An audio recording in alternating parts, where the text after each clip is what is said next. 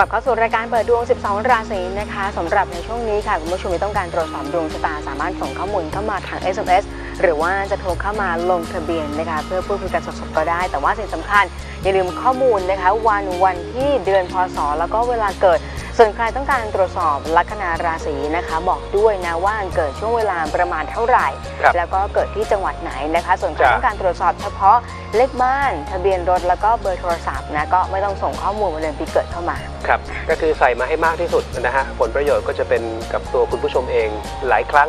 ที่บางท่านส่งข้อมูลวันเดือนปีเกิดเข้ามา แล้วเมื่อเช็คกับวันที่คืออาทิตย์ถึงเสาร์เนี่ยมันไม่ตรงกันคือเจ้าตัวยังไม่รู้เลยนะฉะนั้นใส่เข้ามานะจะได้เป็นการรีเช็คไปในตัวด้วยนะครับเอาละมากันในส่วนของ SMS กันก่อนเลยดีกว่า คุณพิษสมัย 12 กันยายนนะคะ2525 ค่ะ เวลาเกิด 6 นาฬิกาตรงวันอาทิตย์ ถามความรักเอ่อปฏิทินตรงกับวันอาทิตย์ถูกต้องนะครับ ปีจร ตอนนี้ อายุย่าง32ถ้ามีคู่เนี่ยจะมีปัญหากับเรื่องราวเดิมๆนะครับ และที่สำคัญอุณหภูมิหรือความรุนแรงของปัญหาเนี่ยมีโอกาสที่จะเพิ่มสูงขึ้น เพราะคำพูดทั้งของตัวเราเอง หรือแม้กระทั่งคู่ครอง กรณีถ้ามีคู่นะครับ ก็พยายามประคับประคองให้เลยผ่านวันเกิดไปแล้วจะดีขึ้น ในทางกลับกันนะถ้ายังโสดเลยวันเกิดไปแล้ว ถึงมีรักใหม่เข้ามาดูดีๆ ไม่ต้องรีบครับ SMS ต่อมาค่ะ SMS ต่อมานะคะ คุณนรงค์ค่ะ 29 เมษายน 2496 เกิดในช่วงกลางวันนะคะ เป็นผู้กลางวันถามว่าจะขายอาหารข้าวเนี่ยขายอาหารขายข้าวจะดีหรือเปล่า ถามโชคลาภด้วย ก็ในเรื่องของอาหารน่ะนะครับ ก็มีเงื่อนไขก็คือควรจะทำต่างถิ่นกำเนิดครับ หรือถ้าไม่ได้ทำต่างถิ่นกำเนิดลักษณะของอาหารที่คุณทำก็ควรจะมีกลิ่นอาย ในเรื่องของต่างประเทศ หรือจะเป็นอาหารต่างถิ่นฐานก็ได้เช่นอยู่กรุงเทพขายอาหารเหนือนะหรือเป็นอาหารเวียดนาม ถ้าทำแบบนี้จะสมรูปนะแต่ถ้าทำต่างถิ่นกำเนิดอยู่แล้ว ไม่ได้มีเงื่อนไขในเรื่องของความเป็นต่างประเทศนะอันนี้เป็นเงื่อนไขหรือส่วนในแง่ของการเสี่ยงโชคนั้นไม่เด่นครับ SMS ต่อมาค่ะ แต่ปีนี้ยังไม่อยากให้ลงทุนใหญ่รอให้พ้น 29 เมษาไปก่อนอีกไม่กี่วันเองจ้ะจะของ SMS นะคะ เกิดวันที่ 2 สิงหาคม 2522 เวลาเกิด 9 โมงเช้านะ วันพฤหัสบดี ถามโชคลาภค่ะ 9 โมงเช้าถูกต้องนะครับ ปีนี้โชคลาภจะให้เทียบง่าย ๆนะครับ ปีที่แล้วจะยังดีสักกว่าครับ SMS ต่อมาค่ะ SMS ต่อมานะคะ คุณก้อยค่ะ เกิดวันที่ 7 มิถุนายน 2514 เวลาเกิด 10นาฬิกา30 นาทีวันจันทร์จะไปสมัครโรงงานซักผ้า ถามว่าเขาจะรับหรือเปล่านะ ส่วนงานเดิมก็เปิดเปิดร้านซักรีด ความจริงถ้าคุณทำซักรีดอะนะเอ่อโอเค ดีแล้วฮะ ถ้าคิดอยากจะเปลี่ยนเห็นด้วยนะแป๊บหนึ่งจ้ะ ปีนี้มีเกณฑ์งานใหม่นะครับ มีเกณฑ์งานใหม่ แล้วก็ถ้าเป็นไปได้พยายามขวนขวาย ผมไม่ได้หมายถึงแค่เฉพาะไอตัวสมัครโรงงานซักผ้าแต่เพียงอย่างเดียวนะ เพราะในพื้นชะตาสิ่งที่เด่นที่สุดพยายามพัฒนาตัวเอง เป็นลักษณะพวกงานขายถ้าคุณทำได้นะครับ แต่ปีนี้มีมีเกณฑ์งานใหม่ แต่ถ้าเกิดหลังวันเกิดไปแล้วยังไม่ได้งานเนี่ยนะให้หาโอกาสปล่อยปลาเดือนละ 10 ตัว เลือกแหล่งที่ซื้อเลือกแหล่งที่ปล่อยครับ SMS ต่อมาค่ะ คุณกัสมา 9 กันยายน 2534 นะคะเวลาเกิด 2 ทุ่มตรงวันจันทร์ ถามเรื่องของการงานแล้วก็คู่รักอ่าปัตตานีเป็นสี ก็ปีนี้ถ้ามีคู่ครองอยู่แล้วเนี่ยผมมองว่าถึงจะมีปัญหาอะไรก็ปรับความเข้าใจกันได้นะครับ แต่ว่าคำพูดคำจาระวังการประชดประชันเปรียบเทียบนิดนึงนะครับ ส่วนในเรื่องของงานทายดีเลยครับนะ ปีนี้ถ้าเป็นลูกจ้างมนุษย์เงินเดือน ก็มีลุ้นในเรื่องของพวกแคเรียพาร์ทนะครับการโปรโมทการเลื่อนชั้นเลื่อนตำแหน่งเป็นไปได้ทั้งสิ้น แม้กระทั่งในช่วงย่าง 25 ที่ผ่านมาอ่าที่กำลังจะมาถึงเนี่ยก็มีโอกาสจะเกิดความเปลี่ยนแปลงเหนื่อยแต่ดีครับ SMS ต่อมาค่ะ SMS ต่อมาเลขบ้านทับ10และบูชาอะไรถึงจะดีจ้ะเรื่องของการบูชากรุณาส่งข้อมูลวันเดือนปีเกิดมาด้วยนะครับ จะเป็นการบูชาตามหลัก ในเรื่องของมหาทักษะนะแต่ว่าถ้าในแง่ของการบูชาทั่วไปก็บูชาพระพุทธนะฮะพระพุทธเจ้าเป็นตัวพระพุทธรูปคือตัวแทนของของพระพุทธเจ้า ส่วนเลขบ้าน 10 คือกำลังพระเสา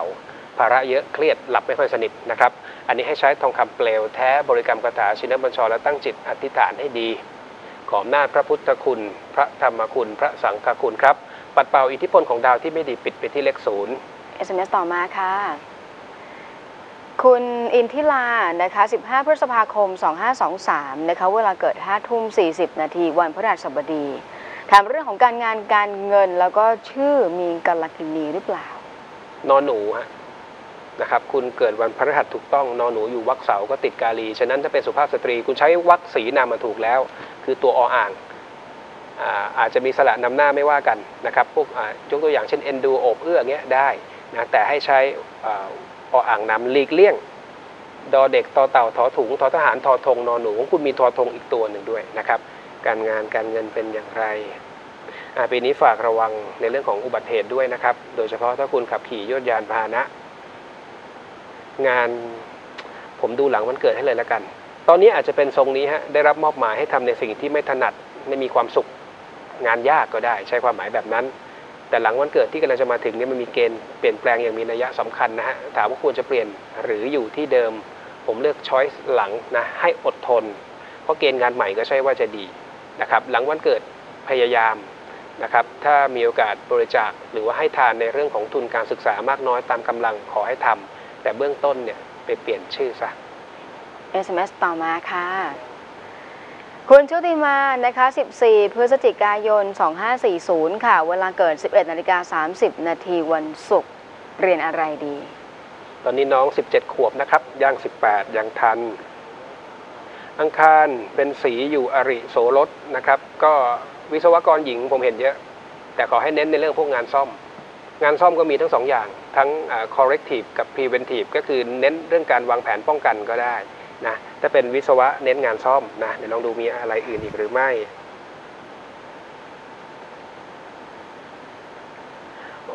ถ้าถ้าเป็นถ้าไหวนะครับ แพทย์เภสัชพวกนี้ก็ถือว่าดีในในเรื่องของการรักษาจ้ะ SMS ต่อมาค่ะ SMS ต่อมานะคะคุณสุค่ะ เกิดวันที่ 25 กุมภาพันธ์ 2506 นะคะ เวลาเกิดประมาณบ่าย 3 โมงถึง 4 โมงเย็นวันจันทร์ ถามเรื่องของโชคลาภแล้วก็การทำบุญเสริม ปฏิทินตรงกับวันจันทร์ถูกต้องนะครับ ปีจรนี้หาโอกาสเขาเรียกว่าอะไรล่ะ ตักบาตรถวายเพลพระก็ได้นะครับข้าวสารอาหารแห้งก็ได้ หรือแม้กระทั่งสังฆทานสดก็ขอให้ทำต่อเนื่องนะอย่างน้อยสักเดือนละครั้งละกัน ส่วนในเรื่องของการเสี่ยงโชคปีนี้ไม่เด่น ถ้าอยากจะเสี่ยงโชคจริง ๆ อาจจะขอให้คนอื่นเขาช่วยเลือกให้นะครับ เลขบ้าน 13 มหาอุดฮะอันนี้เด่นเรื่องการแข่งขันดีครับเบอร์โทรศัพท์ก็ 22 ค่ะ พระจันทร์สองดวงสว่างไสวัยแต่ดาวมีสองด้านเสมอ จันทร์สองดวงเนี่ยบางครั้งใจอ่อนโลเลขี้สงสารครับ SMS ต่อมาค่ะ SMS ต่อมาคุณสุพรรณษานะคะ 27 กรกฎาคม 2534 ค่ะ เวลาเกิด4ทุ่มครึ่งวันเสาร์การเรียนการงานแล้วก็ความรัก ปฏิทินตรงกับวันเสาร์ถูกต้องนะครับ รักไม่ดีเลยจ้านะน้องสุพรรณษาครับ ถ้ายังโสดอยู่คนเดียว ถ้ามีแฟนมีคนรักประคับประคองให้ผ่านครึ่งปีหลังไปให้ได้นะเลยวันเกิดแหละพูดง่ายๆช่วงนี้ถ้าเจอเจอคนชราหาโอกาสบริจาคเงินนะครั้งละสิบาทนะครับ ส่วนในเรื่องของการเรียนแต่การเรียนการเรียนเนี่ยจะเป็นห่วงในช่วงย่าง 25 ที่กำลังจะมาถึง 25 26 ถ้าทำงานไปด้วยเรียนไปด้วยยิ่งน่าเป็นห่วง กลัวว่ามันจะยิ่งจบช้านะสองปีนะฮะ25 26ส่วนปีจร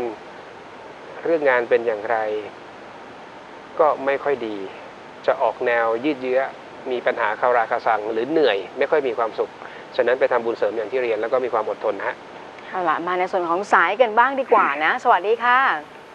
สวัสดีค่ะ สวัสดีค่ะ ชื่ออะไรคะ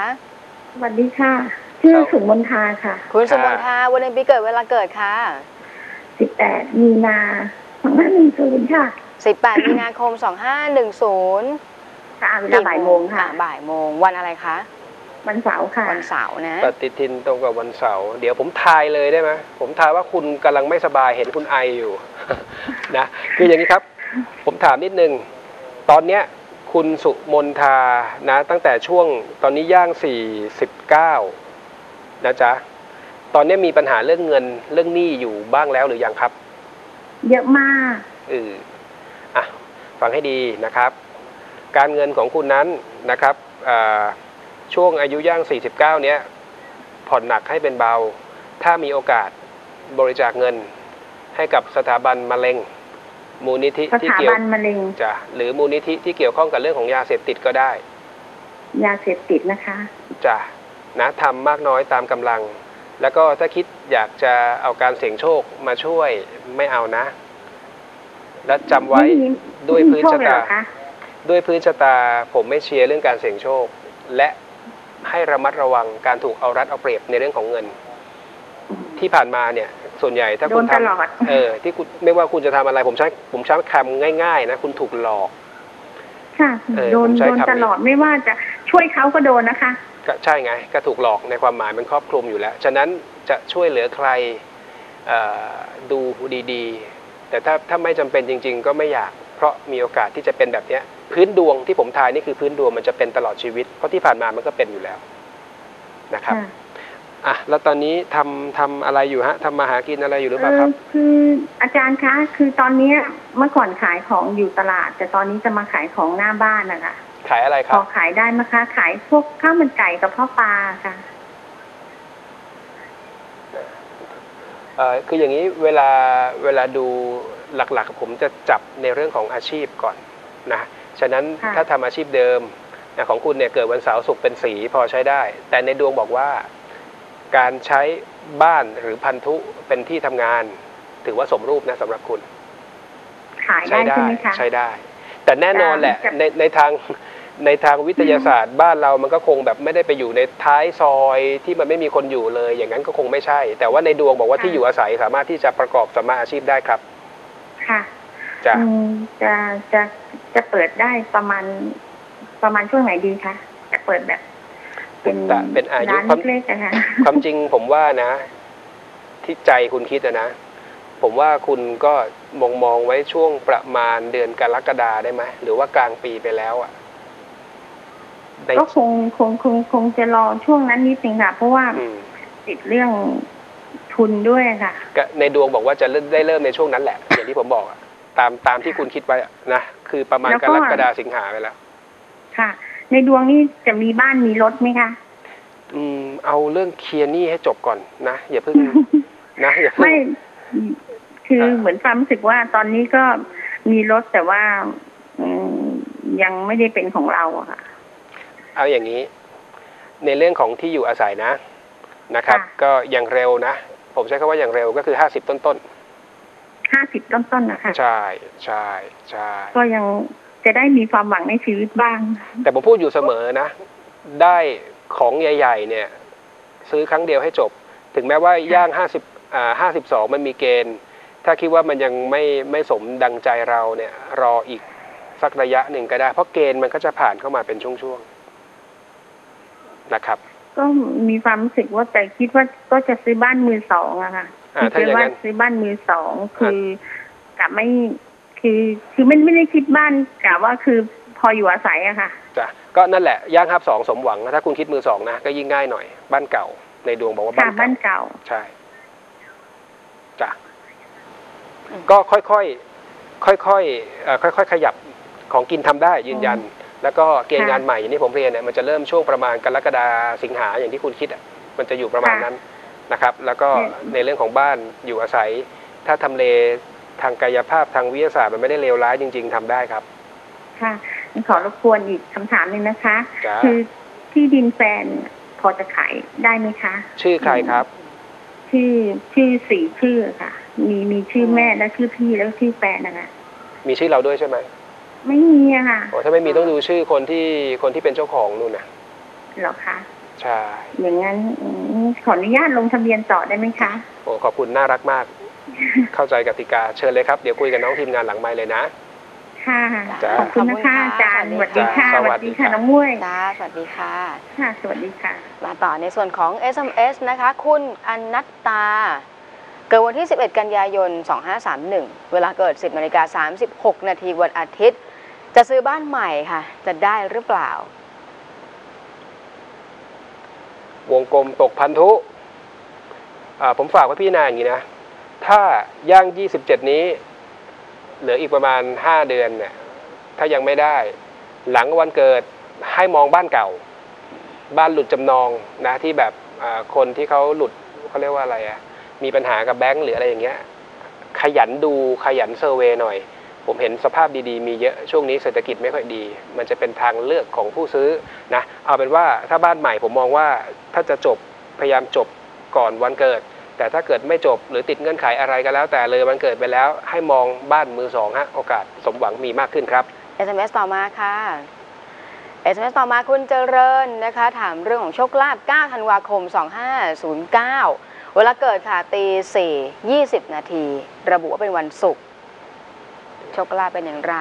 ดูบนข้อมูลสากลนะฮะ ถึงจะเกิดใกล้ 2,500 ผมถือว่าฟ้าสว่างเป็นวันศุกร์นะครับ ในแง่ของการเสี่ยงโชคก็ไม่เด่นไม่เด่นเช่นเดียวกัน แล้วก็ของคุณเนี่ยผมเป็นห่วงนะฮะสปี 49 กับ 50 จะมีปัญหาเรื่องเงินดาวการเงินเสีย ช่วงนี้ถ้ามีโอกาสโละพวกเสื้อผ้าเครื่องนุ่มห่ม ชุดนอนที่ยังพอใช้การได้ แบ่งปันบริจาคให้กับคนที่เขาขาดแคลน ส่วนเข้าย่าง 50 นั้น วัดวาอารามแห่งไหนมีสิ่งปลูกสร้าง ให้ไปถวายปัจจัยสนับสนุนพวกวัสดุก่อสร้าง อิฐหินดินทรายพวกนี้ตรงที่สุดนะส่วนเบอร์โทรใช้เบอร์แรกเป็นหลักเบอร์หลัง เสาทับจันจะพลันร้ายทรัพย์สินหาย ลูกเมียหนี เก็บตังค์ไม่อยู่ SMS ต่อมาค่ะ SMS ต่อมานะคะคุณสมนึก 24 มกราคม 2527 เวลาเกิดบ่ายโมงครึ่งนะคะวันอังคารถามการเงินสุขภาพแล้วก็โชคลาภปฏิทินตรงกับวันอังคารถูกต้องนะอังคารก็หลักๆ จะเป็นห่วงอยู่ 2 กลุ่มอะคือจันทร์กับพุธของคุณเนี่ยในแง่ของทักษะเสียและอยู่ในเรือนโรคภัยไข้เจ็บ ก็จะพอยไปที่ 2 กลุ่มนี้ก่อน จันทร์คืออะไรฮะเบาหวานทางเดินอาหารซีสต่อมน้ำเหลืองลินสีดวง พุธคืออะไรไมเกรนช่องปากทางเดินหายใจ ส่วนในเรื่องของการเสี่ยงโชคด้วยพื้นชะตาไม่เด่น และเป็นอีกหนึ่งท่านที่ปีนี้ดาวการเงินเสีย โดยจากชุดสังฆทานยาครับ SMS ต่อมาค่ะ SMS ต่อมาคุณวิชวันถามอ่าเรื่องของเลขทะเบียนรถนะ 7435เสาจับกับพุธไม่เป็นไรฮะกำลังพระเคราะห์รวมกันได้ 27 เป็นคู่สมพล ในความหมายคือชื่อเสียงเด่นดัง ประสบความสำเร็จในสิ่งที่ทำได้ เช่นเดียวกันอังคารพฤหัสกำลังพระเคราะห์ก็ได้ 27 เช่นเดียวกันนะก็ดีทั้งคู่หน้าคู่หลังครับ มอเตอร์ไซค์ก็ 352 ขยันมีความมั่นคงมีเสน่ห์ SMS ต่อมาค่ะ คุณอุทิศนะคะ เกิดวันที่ 23 พฤศจิกายน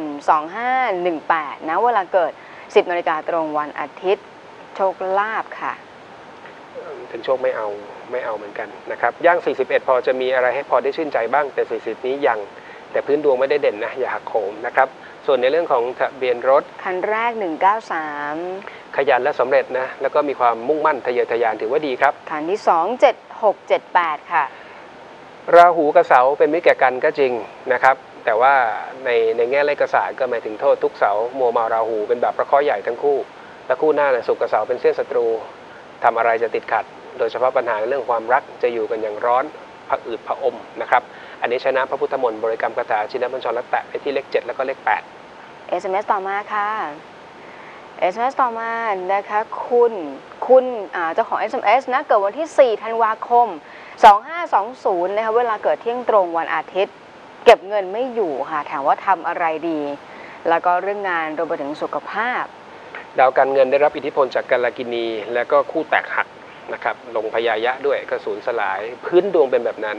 ฉะนั้นก็อย่างที่เคยแนะนำอยู่เสมอสำหรับคนพื้นชะตากระเป๋ารั่วเนี่ยก็จะบอกว่าพยายามเวลาที่เรามีเงินสดอยู่ในมือเนี่ยจงแปลสภาพของเงินสดนั้นให้เป็นพวกอสังหาริมทรัพย์นะครับพันธบัตรที่มีสภาพคล่องน้อยๆเนี่ยเปลี่ยนกลับมาเป็นเงินสดง่ายๆเนี่ยให้เปลี่ยนแบบนั้นมันจะช่วยได้ในระยะยาวนะครับ ส่วนในเรื่องของงานอ่า ปีนี้พยายามเข้าหาคนที่ให้คุณให้โทษได้นะหรือแม้กระทั่งการต้องการความช่วยเหลือจากใคร ขอให้ทำหรือแม้กระทั่งถ้าตอนนี้ยังไม่ได้งานทำหางานก็จะได้งานจะมีคนช่วย ส่วนสุขภาพนั้นเน้นระบบสืบพันธุ์ ไม่รู้เป็นชายหรือหญิงนะ ระบบสืบพันธุ์นะครับ และอีกอันหนึ่งก็จะเป็นจันเนี่ยนะจันก็เบาหวานทางเดินอาหารซีสต่อมน้ำเหลืองลิดสีดวงครับ เอาล่ะในช่วงหน้ายังสามารถส่งข้อมูลเข้ามาทาง SMS นะคะ ให้อาจารย์ตรวจสอบดวงชะตากันได้ อย่าลืมระบุข้อมูลเข้ามาให้ครบค่ะ วันวันที่เดือนพศและเวลาเกิด ส่งข้อมูลทั้งหมดมาที่ 4221606 พักกันสักครู่ค่ะครับ